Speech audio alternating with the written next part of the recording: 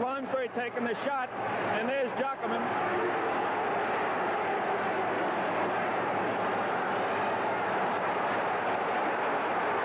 Harris and Selesky maybe.